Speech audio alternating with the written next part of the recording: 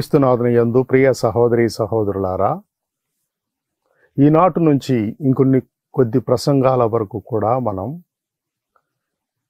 ప్రార్థన యొక్క వేదాంతము మరియు ప్రార్థనలోని పలు పద్ధతులు అనే అంశం గురించి కొంచెం విపులంగా చర్చించుకుందాం.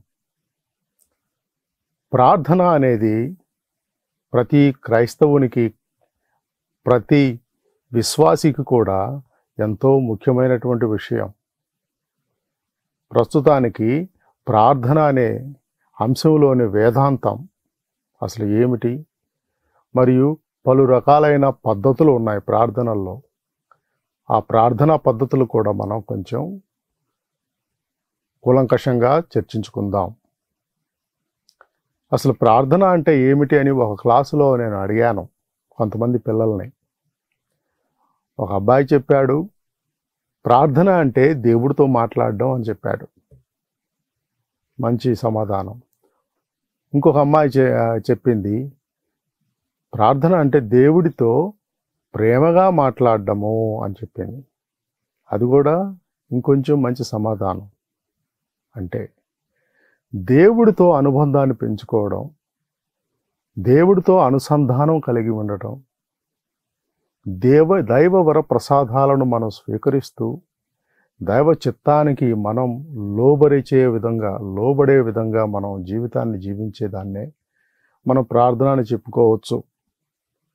ప్రార్థన అంటే కొంతమంది విద్యార్థిని విద్యార్థులు ఇంటిని విడిచిపెట్టి వాళ్ళ చదువుల నిమిత్తము హాస్టల్స్లో ఉంటారు వసతి గృహాల్లో.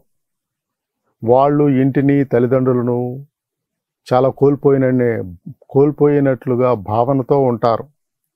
అందుకని వాళ్ళు ఎప్పుడెప్పుడు ఇంటికి ఫోన్లు చేసి తల్లిదండ్రులతో మాట్లాడాలా అని తహతహలాడుతూ ఉంటారు వివిళ్ళూడుతూ ఉంటారు. ఇప్పుడు వాళ్ళు తల్లిదండ్రులు చేసే ఫోన్ కాలే మనం దేవుడితో చేసే ప్రార్థన అని కూడా చెప్పుకోవచ్చు. బోల్డ్ ఎంత బోల్డ్ అని బో ఎంతోమంది పునీతులు గొప్పవాళ్ళు మహాత్ములు ప్రార్థనాపరులు ప్రార్థనల గురించి పలు విధాలుగా నిర్వచించారు. ఆ నిర్వచనాలను మనం కొన్ని చూసుకుందాం. దానికి ముందుగా మనకున్న అవగాహన ఏమిటి ప్రార్థన అంటే? నేను చిన్నపిల్లవాడిగా ఉన్నప్పుడు ప్రార్థన అంటే ఇళ్ళ దగ్గర ఉపదేశి కానీ లేకపోతే దైవజనులైన కన్యాస్త్రీలు కానీ ఫాదర్లు కానీ వచ్చి ముందుగా కొన్ని పాటలు పాడతారు. తర్వాత ప్రసంగం ఉంటుంది. తర్వాత ప్రార్థన ఉంటుంది. తర్వాత ఫలహారం పంచేవాళ్ళు. అది ప్రార్థన అనుకునేవాళ్ళం. గుడిలో జరిగేటటువంటి దివ్య బలి పూజను ప్రార్థన అని మేము ఎప్పుడూ భావించలేదు. అదొక భక్తి కార్యక్రమం. జపమాల మిగతా దివ్య సంస్కారాలన్నీ కూడా ప్రార్థన కంటే చాలా ఎక్కువైనవి అనుకునేవాళ్ళం చిన్నప్పుడు. ఇంటి దగ్గర జపమాల చెప్పడం లేకపోతే వ్యక్తిగతంగా జపమాల చెప్పుకోవడం పాటలు పాడుకోవటం ఇవన్నీ కూడా ప్రార్థనలోని అంశాలే అని చిన్నప్పుడు అంతగా మాకు తెలియలేదు. ఇంకా ఏంటి? మా చుట్టుపక్కల కూడా కొంతమంది ప్రొటెస్టెంట్ సహోదరి సహోదరులు వాళ్ళ కుటుంబాలు అవి ఉండేవి. వాళ్ళు చేసే ప్రార్థనలు కొంచెం స్వేచ్ఛాయుతంగా ఉండేవి. చిన్నపిల్లలప్పుడు మేము చెప్పే ప్రార్థనలు జపాలు చెప్పుకోవడం ఉదయకాల ప్రార్థన స్వయంభూ అనాది అశరీరి అతిలేని లేని మితిలేని సకల మేలుల స్వరూపి ఇవన్నీ కూడా జపాలు చెప్పుకుంటూ ఉండేవాళ్ళం. జపమాల ఇది మా ప్రార్థన అనుకునేవాళ్ళం. కానీ ప్రొటెస్టెంట్ వాళ్ళు సొంత మాటలతో వాళ్ళు ప్రార్థనలు చేస్తూ ఉండేవాళ్ళు. మధ్య మధ్యలో బైబిల్ కొటేషన్స్ను కూడా పేర్కొంటూ వాళ్ళు ప్రార్థనలు చేసేవాళ్ళు. ఓహో ప్రార్థన ఆ- విధంగా కూడా ఉంటుందా అని చిన్నప్పుడు అనుకునేవాళ్ళం. తరువాత పెరిగే కొద్దీ పెరిగే కొద్దీ ప్రార్థన పట్ల అవగాహన పరిపూర్ణతను సాధించుకుంటూ వస్తూ ఉంది. పరిపూర్ణత సాధించలేదు కానీ అది దాని యొక్క భావం మరింత లోతుగా అర్థమవుతూ ఉంది. ఈ వయసు వచ్చేసరికి ఒక గురువుగా దాదాపు ఇరవై సంవత్సరాలు పంతొమ్మిది సంవత్సరాలు. జీవించిన తర్వాత ప్రార్థన యొక్క లోతైన నిగూఢార్థాలు ఒక కథోలిక గురువుగా మాత్రమే కాకుండా ఒక క్రైస్తవుడిగా నాకు మరింత లోతైన అర్థాన్ని తెలుపుతూ ఉందని ఈరోజు నేను మీతో చెప్పుకుంటూ ఉన్నాను. ప్రార్థన చేసేటప్పుడు ఆ దేవుడు మనకు ఏ విధంగా తోస్తాడు? సృష్టికర్తలాగా తోస్తాడా? లేకపోతే ఒక తండ్రిలాగా కనపడతాడా? లేకపోతే ఒక తల్లిలాగా కనపడతాడా? లేకపోతే ఒక స్నేహితుడిలాగా? లేకపోతే ఒక బంధువులాగా? ఒక గురువులాగా? ఒక వైద్యుడిలాగా? ఒక నాయకుడిలాగా? ఈ విధంగా అనేక విధాలుగా దేవుణ్ణి ఒకళ్ళు ఒక్కొక్కళ్ళు కూడా వాళ్ళు పరస్పరానుభవం కలిగి ఉంటారు. వీటి మొత్తంలో మనం చూసుకునేది ఏంటంటే వారితో అనుబంధాన్ని పెంచుకునేదే ప్రార్థన. అయితే కొంతమంది మహాభక్తుల ప్రార్థనాపరుల యొక్క నిర్వచనాలు ఏమిటో మనం ఒకసారి చూసుకుందాం. పునీత చిన్న తెరేసమ్మ గారు ఏం చెప్పిందంటే ప్రార్థన అనేది ఎదలో నుంచి ఉప్పొంగే ఉప్పెన లాంటిది అని చెప్పింది. మన ఎదలో నుంచి ఉప్పొంగే ఉప్పెన అది ఒక ప్రార్థన. దైవ సాన్నిధ్యం కోసం దేవుడి కోసం తప్పించేది ప్రార్థన. మరియు ఆవిడే చెప్పింది స్నేహితుల మధ్య మంచి చెడులు ఇవన్నీ పంచుకోవడం అలాగే దేవుడి మధ్య దేవుడితో మనం మన యొక్క మంచి చెడులను పంచుకోవడం వివరించుకోవడం మాట్లాడుకోవటం వీటినే ప్రార్థన అని ఆవిడ నిర్వచించింది. ఇంకొక మా ఉపయోగం ఇంకొక సోదాహరణం చెప్పింది. ఒక త్రాచుపాము దీర్ఘంగా ఎలాగ చూస్తూ ఉంటుందో. అలాగనే మనం కూడా దీర్ఘకాలంగా ముఖాముఖిని చూసే చూపు లాంటిదే ఈ ప్రార్థన అని ఆవిడ చెప్పింది. ఇంకొక నిర్వచనం ఏంటంటే చేతనతో కూడిన సంభాషణ. మనం కొన్నిసార్లు మాట్లాడుతూ ఉంటాం అవి చేతనతో ఉండవు. కానీ చేతనతో కూడిన సంభాషణనే ప్రార్థన అని చిన్న తెరేసమ్మ గారు నిర్వచించారు. ఇంకా పునీత జాన్ దమసీన్ అనే పునీతుడు ఏం చెప్పాడంటే మన మనస్సు తలంపులను దేవుడి దృష్టి వైపు తిప్పడం అని వాకున్నాడు. మన మనస్సును తలంపులను దేవుడి దృష్టి వైపుగా మళ్ళించడము. ఇందులో మూడు రకాలు ఉన్నాయన్నమాట. మొదటిది మన మనస్సును తలంపును దేవుడి వైపు త్రిప్పడం రెండవది విన్నపం. మంచి విషయాలను దేవుడి నుంచి మనం కోరుకోవడం. దేవుడి నుంచి మనం అనేక విషయాలను కోరుకుంటూ ఉంటాం. ఆ మంచి విషయాలను కోరుకునేదాన్నే విన్నప ప్రార్థన అని పునీత జాన్ దమాసిన్ గారు చెప్పారు. ఇంకా మూడోది ముఖ్యమైన నిర్వచనం ఏం చెప్పాడంటే ప్రార్థన అనేది ఒక మేధోపరమైన వ్యాయామం లాంటిది కాకుండా అది ఉద్వేగభరితమై హృదయపూర్వకంగా ఉండేది ప్రార్థన. అని చెప్పారు. కొన్నిసార్లు కొంతమంది చిన్నపిల్లలు ఏడుస్తారు కదా శిశువులు ఏడుస్తూ ఉంటారు. కొంతమంది ఊరికినే ఏడుస్తూ ఉంటారు ఒక్క కన్నీరు చుక్క ఉండదు అయినా కానీ ఏడుస్తూ ఉంటారు.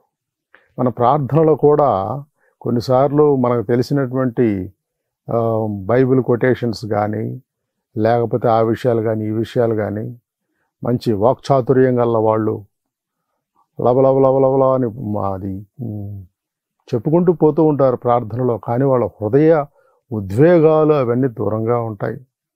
భావాల ప్రకటన అదంతా దూరంగా ఉంటుంది. ఒక ఉద్వేగభరితంగా ఉండి హృదయపూర్వకంగా ఉండేదే నిజమైన ప్రార్థన అని పునీత జాన్ దమసిన్ గారు చెప్పారు. ఇంకా ఈ మధ్య కాలంలో జీవించినటువంటి లాటిన్ అమెరికా అంటే దక్షిణ అమెరికాలో ప్రొఫెసర్గా ఉన్నటువంటి ఫాదర్ కార్ల్ రానర్ అనేటువంటి యేసుసభ గురువు ఏమి చెప్పాడంటే ప్రార్థన అనేది దేవుడి యొక్క భావ ప్రకటన. ప్రార్థన అనేది దయతో ఇవ్వబడి స్వేచ్ఛతో స్వీకరించబడేది.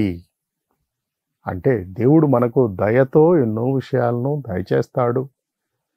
మనం దానిని స్వేచ్ఛగా స్వీకరిస్తాము. అంతేకాకుండా మనం కూడా మన అంతర్గత స్వేచ్ఛతో మన యొక్క మా స్వతంత్ర స్వేచ్ఛ దేవుడు మనకి ఇచ్చినటువంటి బహుమతి దానితో దేవుడికి కూడా మనం బహుమతులను తిరిగి ఇస్తాము మన జీవితంలో చేసే మంచి కార్యాలు పుణ్యకార్యాల ద్వారా. అది కూడా ప్రార్థన అని కాల్ రానర్ గారు చెప్పారు. ప్రియ సహోదరి సహోదరులారా ఈ విధంగా చూసుకుంటే ప్రార్థన గురించి నిర్వచనాలు బోల్డన్ని ఉన్నాయి. ఈ ప్రార్థనలో ఇంకొక విషయం ఏమిటంటే ఒక స్నేహితుల మధ్య ఉండేటటువంటి అనుబంధం లాంటిది. స్నేహితులు క్రొత్తగా కలిసినప్పుడు వాళ్ళ స్నేహం చాలా ఉత్సాహంగా ఉంటుంది. పోయే కొద్ది కాలం గడిచే కొద్దీ గడిచే కొద్ది క్రమేపీ వాళ్ళ మధ్య స్నేహం దృఢంగా బలంగా తయారవుతుంది. ఎందుకంటే వాళ్ళు ఒకరి నుంచి ఒకరి గురించి ఒకళ్ళు తెలుసుకుంటూ ఉంటారు. ఒకరి గురించి ఒకళ్ళ పరిపూర్ పరిపూర్ణమైనటువంటి అవగాహన కలుగుతుంది. వాళ్ళు ప్రాణ స్నేహితులుగా మిగిలిపోతారు. అదేవిధంగా దేవుడికి మనకి మధ్య అనుబంధం స్నేహితుల మధ్య అనుబంధం కాలం గడిచే కొద్దీ క్రమేపీ క్రమేపీ అనుభవం కొద్దీ ఎంత దృఢంగా తయారవుతుందో మనం కూడా ప్రార్థన ద్వారా దేవుణ్ణి ఎక్కువగా తెలుసుకుంటాం. మనల్ని ఎక్కువగా దేవుడికి తెలియపరచుకుంటాం.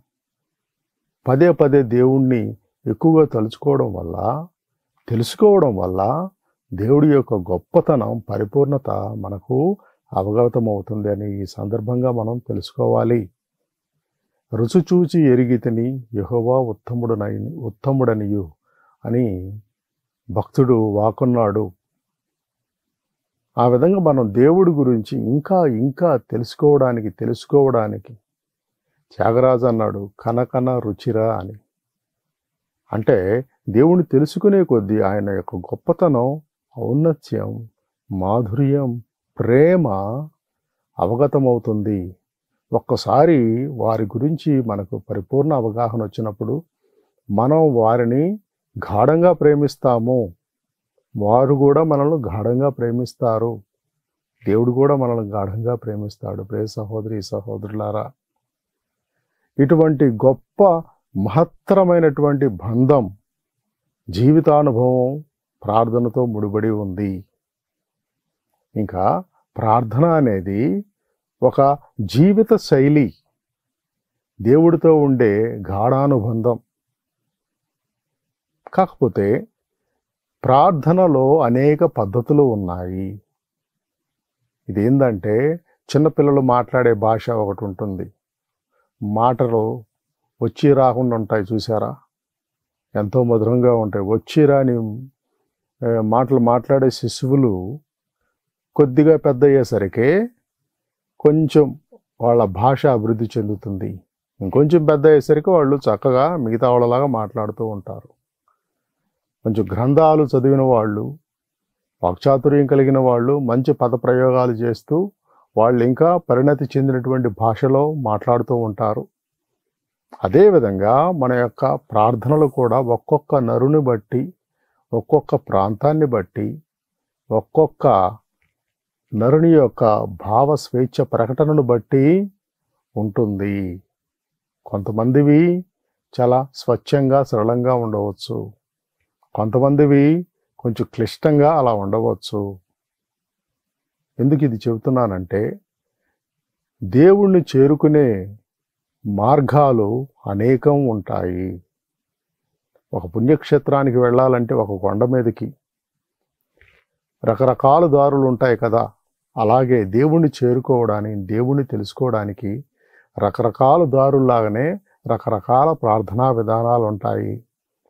క్రైస్తవంలో ప్రార్థనా విధానాలు కొన్ని ప్రత్యేకంగా ఉన్నాయి.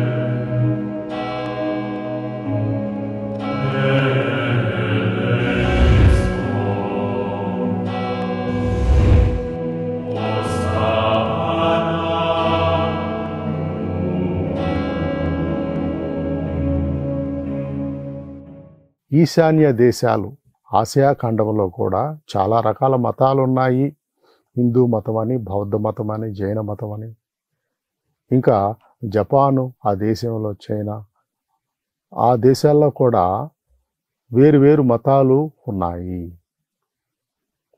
ఇంకా ఇస్లాం మతం ఉంది. ఈ మతాలన్నీ కూడా ప్రత్యేకమైనటువంటి ప్రార్థనలు కలిగి ఉంటాయి. కొంతమంది అనుకోవచ్చు ఎవరి ప్రార్థన గొప్పది? ఎవరి ప్రార్థన త్వరితంగా దేవుణ్ణి చేరుతుంది? అందరి ప్రార్థనలు దేవుణ్ణి చేరతాయి. ప్రే సహోదరి సహోదరులారా కాకపోతే ఆ ప్రార్థన చేసే విధానాన్ని బట్టి చిలకలాగా లోడలోడలా మాట్లాడుతూ ఉంటే హృదయం దూరంగా ఉంటే ఆ ప్రార్థన చేరదు. ఆడంబరాలకు పోయి మోగే గంటలాగా గణగణ మన ప్రార్థన ఉంటే అది దేవుణ్ణి చేరదు. విరిగి నలిగి విరిగి నలిగిన హృదయంతో ఉద్వేగభరితమైన భక్తివంతమైన ప్రార్థన దేవుడికి చేరుతుంది. ఈ సందర్భంగా ప్రార్థనలోని పలు పద్ధతులు దానిలోని వేదాంతం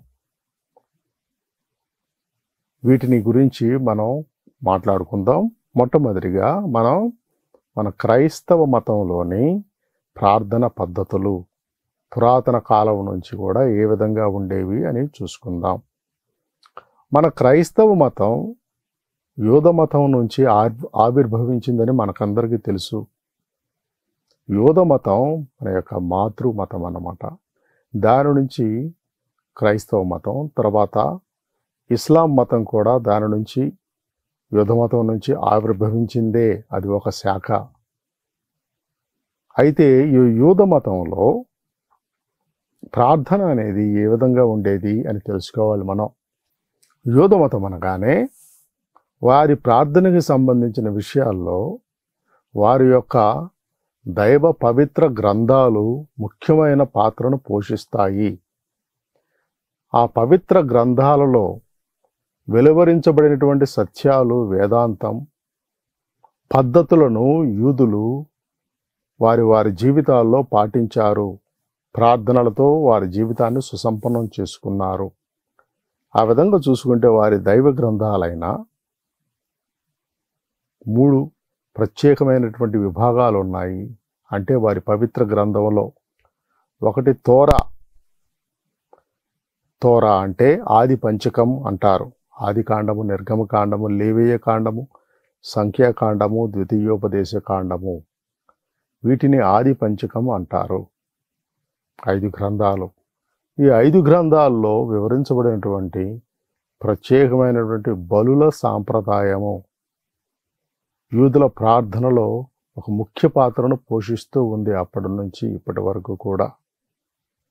ఈ గ్రంథాలు ప్రార్థన యొక్క ఆవిర్భావం ప్రార్థన యొక్క ప్రయోజనాలు ఏ విధంగా ప్రార్థించాలి అనే దాని గురించి చాలా ముఖ్యమైన సమాచారాన్ని మనకి తెలియజేస్తాయి భక్తులకు. ఇంకా రెండవ విభాగం ఏమిటంటే నభీయీం అంటారు. నభీయం అంటే ప్రవక్తలు. ఆ ప్రవక్తల్లో పూర్వ ప్రవక్తలు ఉన్నారు చిన్న ప్రవక్తలు కూడా ఉన్నారు. ఈ ప్రవక్తలు అందరూ కలిసి దైవ వాక్కును ప్రజలకు పంచారు దైవ సందేశాలను ప్రజలకు ఇచ్చారు. అనేక పెద్ద ప్రవక్తలు కానీ చిన్న ప్రవక్తలు కానీ వారి వారి కాలాల్లో వారి వారి పరిస్థితులకు తగ్గట్టుగా దైవ ప్రవచనాలను మొట్టమొదటగా దేవుడి నుంచి స్వీకరించి ఆ ప్రవచనాలను ప్రజలకు వినిపించారు. తద్వారా ప్రజలలో అనేక మార్పులు కలిగి దైవ విశ్వాసాన్ని ఇనుమడింపు చేసుకున్నారు. దైవ భక్తులుగా మెలిగారు అని మనం చూసుకుంటూ ఉన్నాము. ఇక మూడో విభాగం ఏమిటంటే కెటుబీమ్ అంటారు కెటుబీమ్ అంటే జ్ఞాన గ్రంథాలు లేక రచనలు అంటారు. యోబు గ్రంథము కీర్తనల గ్రంథము సామెతలు ఇవన్నీ కూడా ఆ కోవలోకి వస్తాయి. ఈ విధంగా చూసుకుంటే తోరా నభీం కెటుబీం అంటే ఆది పంచకము ప్రవక్తలు మరియు జ్ఞాన గ్రంథాలు ఈ మొత్తం కలిపి పాత నిబంధనలో ఎన్నుంటాయంటే పాత నిబంధనలో మొత్తం కలిపి నలభై ఆరు గ్రంథాల వరకు ఉన్నాయని మనం చెప్పుకోవచ్చు. అంటే ఈ నలభై ఆరు గ్రంథాల్లో ముప్పై తొమ్మిది గ్రంథాలు మాత్రమే ప్రామాణికమైనవి అని యూదులు నమ్ముతారు. మిగతా ఏడు గ్రంథాలు మిగతా ఏడు గ్రంథాలు ఉపదేశకుడు సొలోమోను జ్ఞాన గ్రంథము శిరాపుత్రుడైన యేసు జ్ఞాన గ్రంథము బారూకు తోబితు యూదితు మకబీయులు ఈ గ్రంథాలు అవి దేవుని చేత ప్రేరణ పొందినవి కావు. అవి దాచబడినటువంటి గ్రంథాలు. ఆధ్యాత్మికంగా ఉపయోగపడినా కానీ దైవ ప్రేరణ చేత వ్రాయబడిన ప్రామాణిక గ్రంథాలు అని యూదులు ఒప్పుకోరు. అందువల్ల వారి పవిత్ర గ్రంథంలో కేవలం ముప్పై తొమ్మిది గ్రంథాలు ఉంటాయి. కానీ అలెగ్జాండ్రియాలోని అలెగ్జాండ్రియాలో యూదులు ఏం చేశారంటే పవిత్ర గ్రంథం హీబ్రూ భాషలో మొట్టమొదటిగా వ్రాయబడింది. అది ముప్పై తొమ్మిది గ్రంథాలు మాత్రమే కలిగి ఉన్నది. ఆది పంచకము తోరా ఆది పంచకం అంటారు నభీం ప్రవక్తలు కెటూబీం అనేది జ్ఞాన గ్రంథాలు. మొత్తం కలిసి ముప్పై తొమ్మిది మాత్రమే. అయితే ఐగుప్తులో కొంతమంది ఏమి చేశారంటే కథోలికులు సెప్తువజింత్ గ్రీకు అనువాదాన్ని చేశారు. సెప్తువ జింత అంటారు. సెప్తువ జింత అంటే డెబ్బై సంఖ్య అని అర్థం. ఈ డెబ్బై సంఖ్య ఏమిటంటే పన్నెండు ఇస్రాయేలీయుల గోత్రాల నుంచి ఇస్రాయేలీయుల గోత్రాలు అంటే యాకోబు యొక్క కుమారులు పన్నెండు మంది అని మనం అనుకున్నాం. ఆ పన్నెండు గోత్రాల నుంచి ఆరుగురు మంది ఆరుగురు మంది ఆ విధంగా డెబ్భై మంది కలిసి కూర్చొని డెబ్భై రెండు రోజుల్లో రెండు వేల యాభైవ సంవత్సరం క్రీస్తు పూర్వంలో వాళ్ళు ఈ యొక్క బైబిల్ అనువాదాన్ని చేశారు. హీబ్రూ భాష నుంచి గ్రీకు భాషలోకి అని మనం చదువుకుంటూ ఉన్నాము. ఈ గ్రీకు భాషలో చేసినటువంటి అనువాదంలో ముప్పై తొమ్మిది యూదుల ప్రామాణిక గ్రంథాలు అంటే పాలస్తీనా ప్రామాణికం అంటారు. పాలస్తీనా ప్రామాణికం అనేది ముప్పై తొమ్మిది గ్రంథాలు మాత్రమే ఉంటాయి. కానీ అలెక్సాంద్రియా ప్రామాణికం అంటే కథోలికుల ప్రామాణికం ప్రకారము ఈ జ్ఞాన గ్రంథాల్లో ఒక ఏడు గ్రంథాలు వాటిని పవిత్రాత్మ ప్రేరణ లేనివి అని ప్రొటెస్టెంట్లు యూదులు అంటారు. కానీ కథోలికులు మాత్రం అవి కూడా పవిత్రాత్మ ప్రేరణను కలిగినవే అని వాళ్ళు పేర్కొంటారు.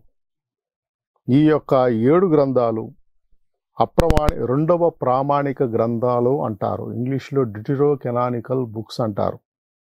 ఇవేమిటంటే ఉపదేశకుడు సొలమోను జ్ఞాన గ్రంథము శిరాపుత్రుడని యేసు జ్ఞాన గ్రంథము బారుకు తోబితు ఈ గ్రంథాలన్నీ కూడా ఏడు. అందువలన మనం గుర్తుపెట్టుకోవాల్సిన అంశం ఏంటంటే కథోలికులు ముప్పై తొమ్మిది మరియు ఏడు కలిపితే నలభై ఆరు గ్రంథాలు బైబిల్లో ఉన్నవి అంటారు. యూదులు ప్రొటెస్టెంట్లు మాత్రం ముప్పై తొమ్మిది గ్రంథాలను మాత్రమే వాళ్ళు తీసుకుంటారు. మిగతా ఏడు గ్రంథాలను వాళ్ళు ఏమంటారంటే పవిత్రాత్మ ప్రేరణ లేనివి అప్రసిద్ధ కాండాలు అంటారు. విద్యోపనిషత్తు అంటూ అని కూడా అంటారు.